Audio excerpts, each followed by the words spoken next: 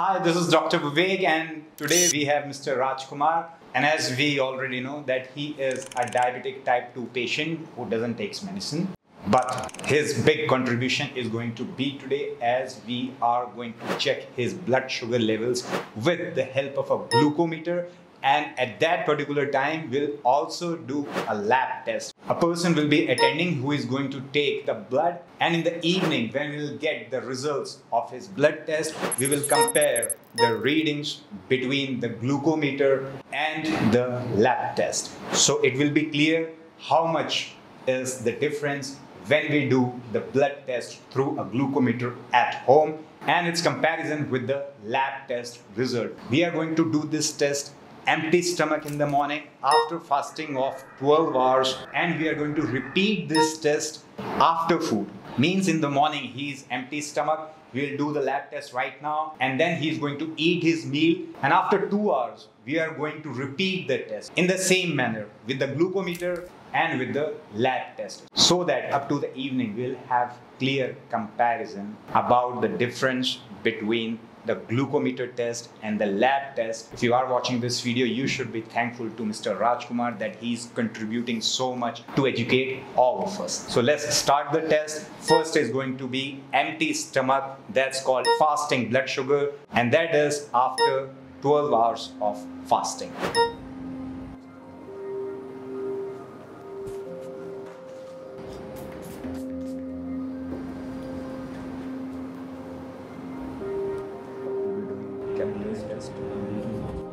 when?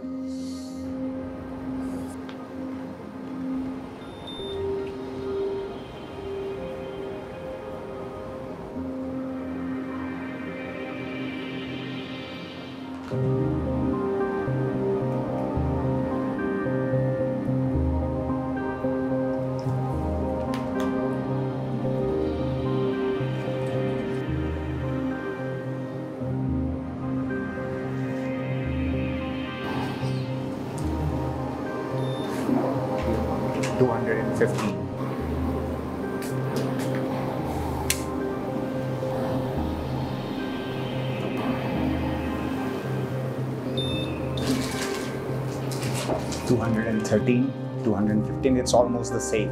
There is no big difference. Now he's gonna eat whole meal, heavy meal, and after two hours we are going to do the test again.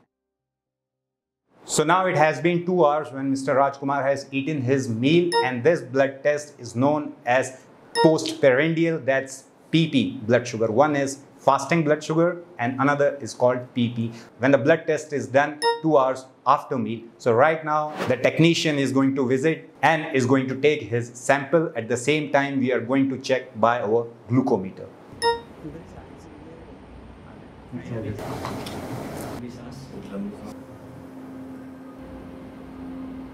glucometer reading after two hours of food.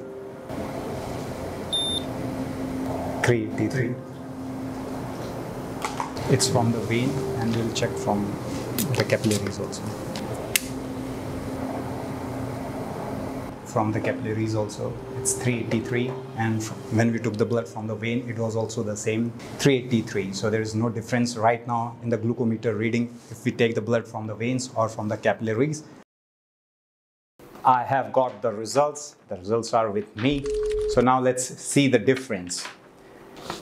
Glucose fasting, empty stomach, lab test has shown 232.8. When we did with the meter, it showed 215. So there is a difference of 17 points.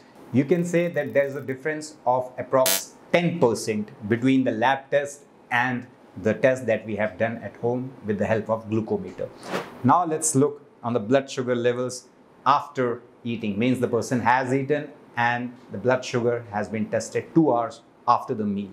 So over here the result is 443.2 and when we did with the glucometer it showed 383 so the difference in the result is of 60 digits means about 15%. So the difference between the glucometer reading and lab test is of 10 to 15%.